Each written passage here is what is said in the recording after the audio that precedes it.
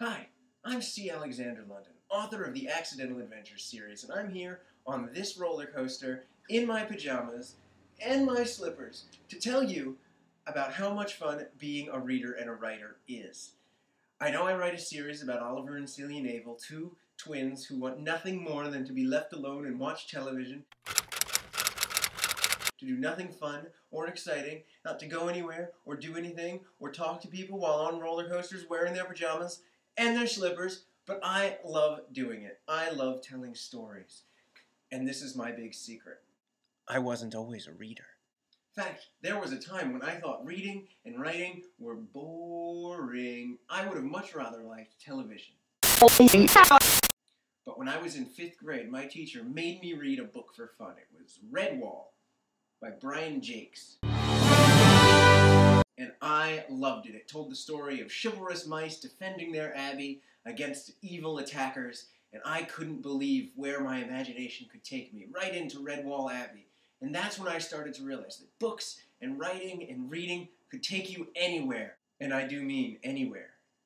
Anywhere at all. And the best part is, you can keep your pajamas on and your slippers. When you're watching television, if it's something set in Paris, well, there you are. You're in Paris. You can only go to Paris, and it only looks the way it's shown on the screen. But when you're reading, your imagination does all the work. And your imagination can take you anywhere you want to go. Maybe your version of Paris is completely different from mine. Maybe your Paris isn't even Paris at all. With your imagination, absolutely anything is possible. Anything at all. People don't even have to look the way they look. They can look totally weird, just like me. Hmm? So your imagination really can take you anywhere you want to go. One place I hope it will take you is into my new book, We Dine with Cannibals. It's the second book in the Accidental Adventures series. The first one was called We Are Not Eaten by Yaks.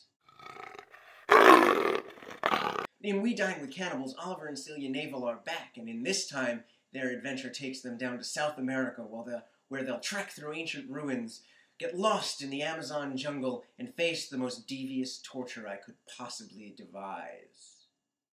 Sixth grade dodgeball.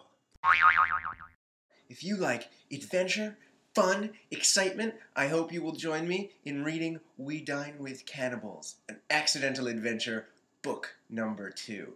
Excuse me just a sec.